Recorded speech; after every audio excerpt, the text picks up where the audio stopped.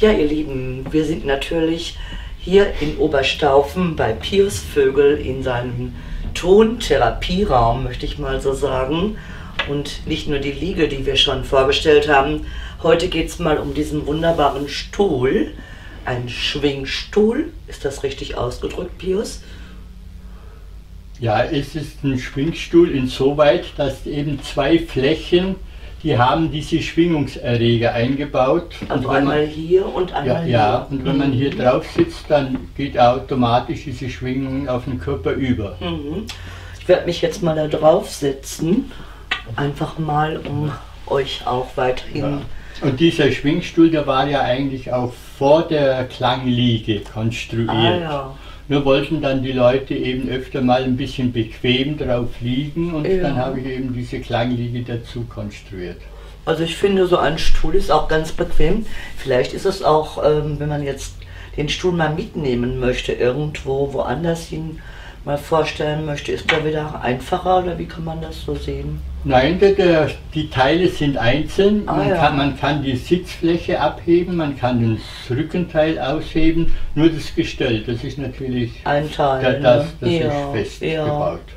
Aber man könnte den auch noch gut mal, wenn man jetzt irgendwo unterwegs wäre, auch mitnehmen. Das ja, kann man ohne weiteres ne? mitnehmen. Mhm. Man braucht halt auch die elektrischen Geräte dazu. Ja, das ist logisch, klar.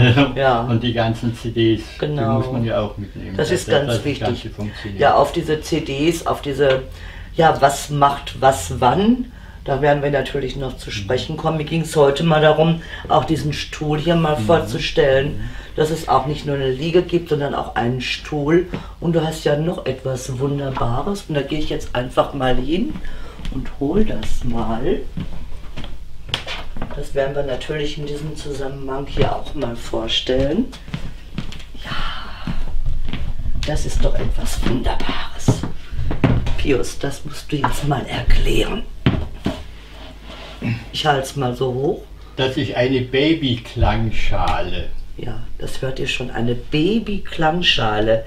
Also. Ja, die, die eben auch nicht nur für Babys alleine benutzt werden kann, sondern man kann da auch Getränke draufstellen oder Nahrungsmittel draufstellen, die Feuchtigkeit enthalten oder sogar kleine Tiere. Wollte ich gerade sagen, da könnte auch ein Hund drauf oder ja. so wie unsere Katze zum Beispiel. Ja, ich glaube, der ja. wird sich auch da sehr wohl fühlen. Ja. Also das ist mit Sicherheit auch sehr schön. Jedoch, es ist ja nun, der, äh, ich sag mal, der Fokus war ja wohl auch, diese Babyklangschale zu entwickeln. Ist das richtig? Ja. Mhm. ja. Diese Babyklangschale insofern, ich sag mal so, ich bin ja nun auch Mama für Schreikinder.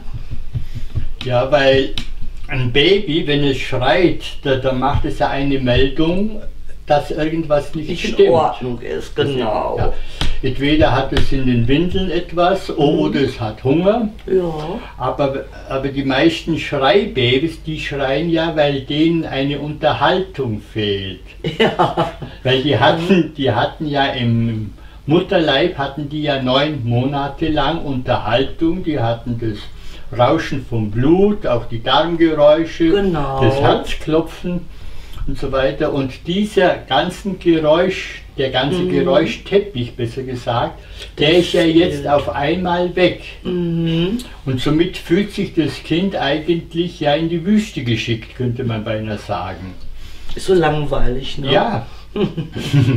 und, und, vor allem, man kann ja auch beobachten, wenn so ein Schreibaby dann wieder an dem Mutterleib gehalten wird, wo es ja. wieder diese altbekannten so dran, ja. Vibrationen wahrnimmt, dass es dann sich beruhigt. Ja, richtig, richtig. Und so kam ich eben auf die Idee, so eine Schale zu machen. Mhm. Und Schale deswegen, weil in die Schalenwirkung dann die Schwingung von ringsrum auf das Kind einwirken.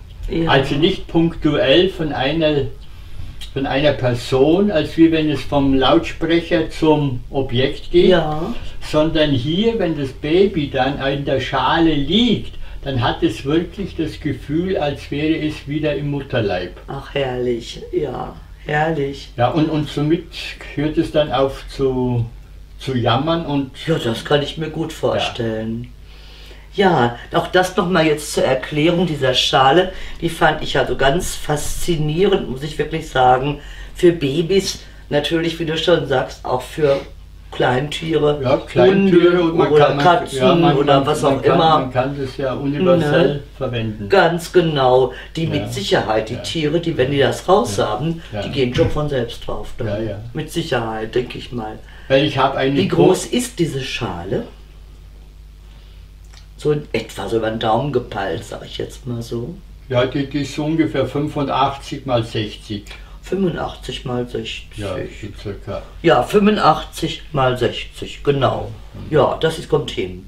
Ja, ich finde die also auch genial, auch von der Größe her. Also, das hat mich schon sehr angesprochen. Ich denke, da werden wir viele Mamis mit ansprechen, die natürlich sagen, oh, das wäre was für mein Kleines. Mhm. Und du hast gestern uns ja auch diese Schale noch mal schon mal selbst ausprobieren lassen.